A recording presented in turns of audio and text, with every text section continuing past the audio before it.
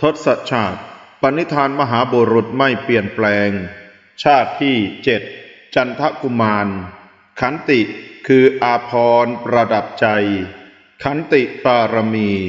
พระองค์พระราชทานพวกข้าพระองค์ ให้เป็นทาสกันดะหารละปุโรหิต ยังจะดีเสียกว่า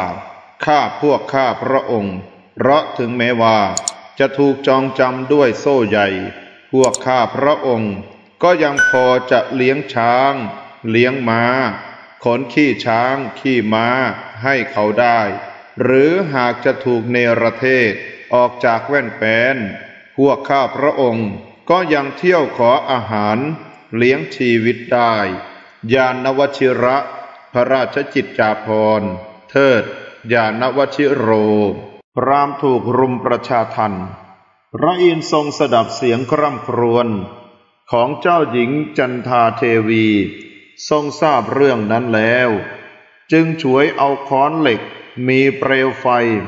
ลุกโชดช่วงเสด็จมาขู่พระราชา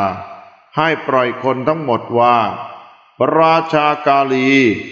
จำใส่สมองเอาไว้ อย่าให้เราตีหัวของเจ้า ด้วยค้อนเหล็กนี้ อย่าได้ฆ่าลูก ผู้ไม่คิดร้าย เจ้าเคยเห็นที่ไหน คนอย่าไปสวรรค์ ต้องฆ่าลูกฆ่าเมีย ผู้ไม่คิดร้ายตน กันดหาระปุโรหิต และพระราชาได้ยินเสียงพระอินทร์ทั้งได้เห็นรูป เกิดความอัศจรรย์ใจ และหวาดกลัว จึงให้ปลดปล่อยสัตว์ทั้งหมด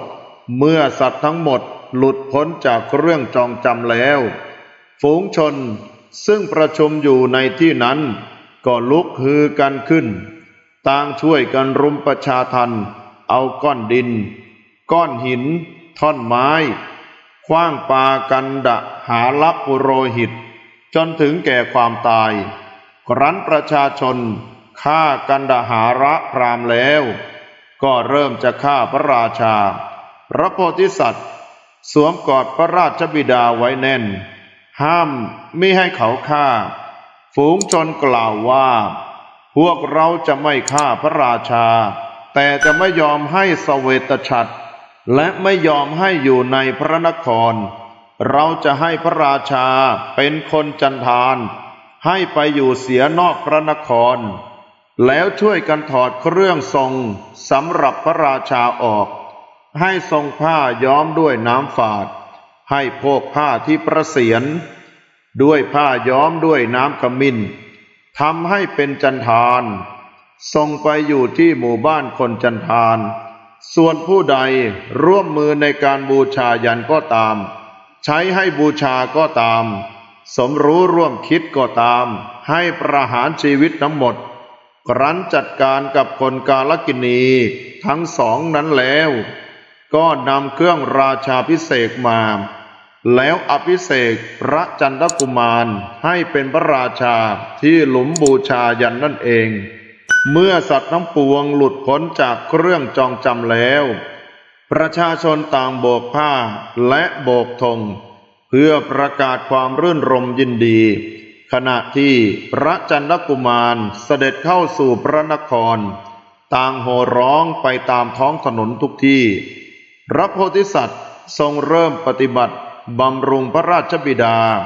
แม้พระราชบิดา ก็ไม่ได้เสด็จเข้าพระนคร เมื่อสเสบียงอาหารหมด พระโพธิสัตว์เสด็จไปปฏิบัติพระราชกรณียกิจในที่ต่างๆ ก็เข้าไปเฝ้าพระราชบิดา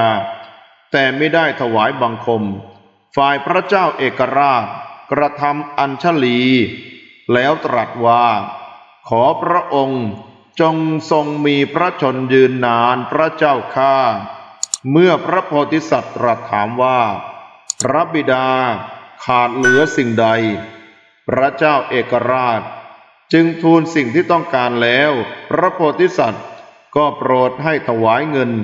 เป็นค่าใช้จ่ายแก่พระบิดา พระโพธิสัตว์ครองราชสมบัติด้วยทศพิษราชธรรม ครั้นสวรรคต ก็ได้ไปเกิดในเทวโลก กลับชาติมาเกิดสมัยพุทธกาลครั้นพระบรมศาสดา ทรงนำพระธรรมเทศนานี้มาแสดงแล้ว ทรงประกาศอริยสัจว่า ภิกษุทั้งหลาย ไม่ใช่แต่ในชาตินี้เท่านั้น แม้ในอดีตชาติ พระเทวทัตก็อาศัยเรา เพียงผู้เดียว พยายามฆ่าคนเป็นอันมาก กันดหาลพรามในอดีตชาติ ได้เป็นพระเทวทัต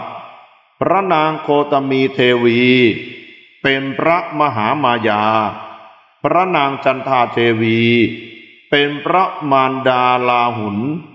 พระวสุละเป็นพระราหุน พระเสรากุมาลี เป็นอุบลวรรณาภิกษุณี พระสุรกุมารเป็นพระอานนท์พระรามโคตเป็นพระกัสปะ พระพัทเสนะ เป็นพระโมคคันรานะ พระสุริยกุมาร เป็นพระสารีบุตร เท้าสกเทวราช เป็นอนุรุทธะ บริษัทในการนั้น ได้เกิดมาเป็นพุทธบริษัท ส่วนพระจันทกุมารนนั้นคือเราสัมมาสัมพุทธเจ้า